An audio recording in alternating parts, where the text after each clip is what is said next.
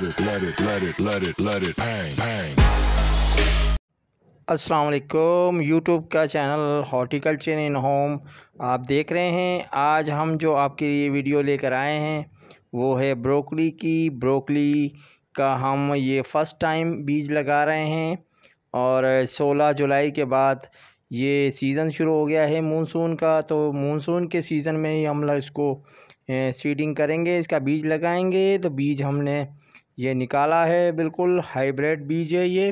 Broccoli का वैसे तो ये सितंबर में लगाई जाती है, मगर हम जो हैं वो इसको जुलाई में सीडिंग कर रहे हैं। देखें अलग अलग करके हम इसको डालेंगे और आप भी कोशिश कीजिएगा, अगर आप लगाते हैं अपने घर में तो बीज जो है, वो एक जगह पे ना डालें हैं, इसको थोड़ा फैला के डालें, ताकि ये अलग अलग निकले। हम जब इसको डालेंगे अलग अलग तो ये दूर दूर और अलग अलग बीज निकलेगा। इसके बाद हम इसको ये जो हमने कंपोस्ट वगैरह तैयार किया हुआ है इसके लिए कोकोपिट और आ, फ्रेश खाद तैयार की है तो वो कंपोस्ट हम इसमें लगाएँगे इसकी ते ताकि ये बीज जो है अपनी जगह से हिले भी ना और जहाँ जहाँ हमने बीज प्लेस किया है वहाँ वहाँ ये बीज निकलेगा।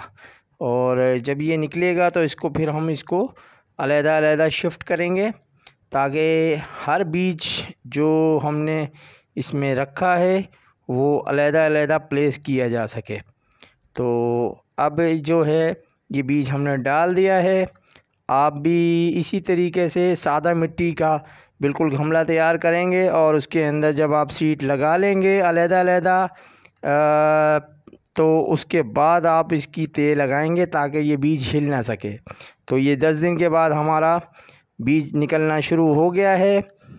और ये देखें, बिल्कुल अलहदा अलहदा जिस तरीके से हमने प्लेस किया हुआ है बीज को वो उसी तरीके से उसी पोजीशन में ये निकला है। ये देखें, इसकी करंट पोजीशन है।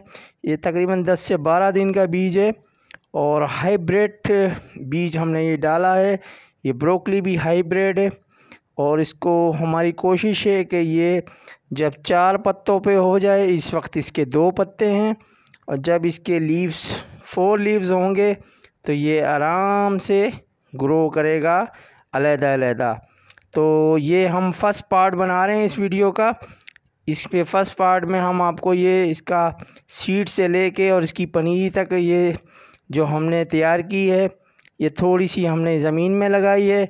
देखें आप ये हमने जो छोटा छोटा बीज था इसको अलग किया है और ये ज़मीन में लगाया है ताकि ये ज़मीन में जल्दी बड़ा हो और बाकी जो सीड है हमारे पास हम इसको कप्स में लगाएँगे ताकि ये कप्स में भी जल्दी ग्रो हो सके।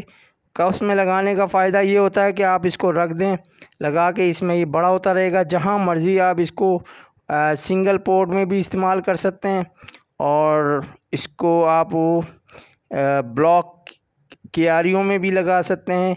तो ब्रोकली आप अपने घर में लगाएँ और हाईब्रिड होगी ब्रोकली तो आपको मज़ा करेगी।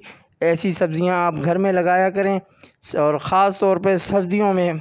अभी चूँकि मानसून शुरू हो चुका है तो मानसून में आप लगाना शुरू करेंगे तो आपको सितंबर, अक्टूबर, नवंबर दिसंबर तक आपको सब्ज़ियाँ तैयार मिलेंगी। घर में फ्रेश सब्ज़ियाँ लगाएँ और अपना कंपोस्ट जो तैयार किया हुआ होता है, उसके अंदर सब्ज़ी लगाने का मज़ा ही और है।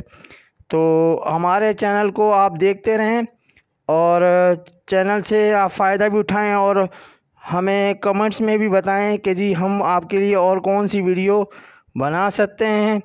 तो हमारे चैनल को आप पसंद करते हैं तो हमारे चैनल को